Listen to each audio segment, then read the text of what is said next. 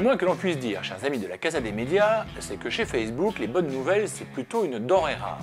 Alors, quand un truc marche, on s'est dit que c'était bien de vous en parler. Allow me to show you something. Attention, attention, n'allez surtout pas croire que votre casa du jeudi s'est transformée en agence de communication. Pas franchement le genre de la maison. Mais nous avons décidé d'être délicats et gentils cette semaine.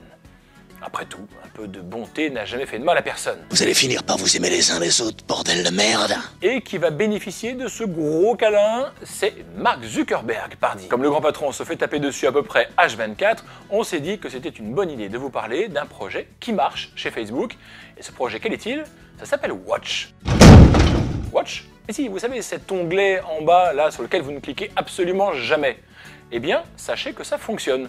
En tout cas, que Facebook est content. Pourquoi? Parce que 720 millions de personnes l'utilisent chaque mois, 140 millions chaque jour, chiffre en nette augmentation par rapport au dernier relevé de Facebook qui en décembre dernier revendiquait 75 millions d'utilisateurs de Watch. Autre donnée qui fait plaisir à notre cher Mark Zuckerberg, les gens passent en moyenne 26 minutes sur les contenus de Watch, c'est 6 de plus en 6 mois. Mais ce qui donne vraiment, mais vraiment le sourire à Zuck, c'est que grâce à Watch, la plateforme semble enfin avoir trouvé une bonne manière d'insérer de la publicité sur ses vidéos, ce que jusqu'ici elle rechignait à faire. Et en Facebook, Watch, ça paye les cocos. Le nombre de pages qui génèrent plus de 1000 dollars de revenus a été multiplié par 8 en un an. Et celles qui rapportent plus de 10 000 dollars par mois, multiplié par 3 également en un an. C'est le cas par exemple de ça, Can we please turn on the AC? et c'est le cas de ça. Brian Dyson gave a speech on September 6, 1991, at Georgia Tech University. Ce qui est bien, mais pas top.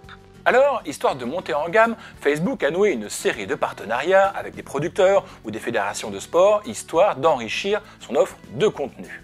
Et forcément, tout le monde s'est engouffré dans la brèche, y voyant une nouvelle manne financière de la part du géant de la Silicon Valley. Mais attention, attention, souvenez-vous d'une époque pas si lointaine où Facebook signait déjà des gros chèques à tous ses partenaires pour les encourager à faire du Facebook Live. Jusqu'au jour où, pour une question de changement de stratégie, Facebook a décidé de retirer ses billes. Ainsi va la vie avec Zuck, ce qui est valable un jour ne sera peut-être plus valable d'ici quelques mois. Garde donc aux désillusions. En vous remerciant, bonsoir.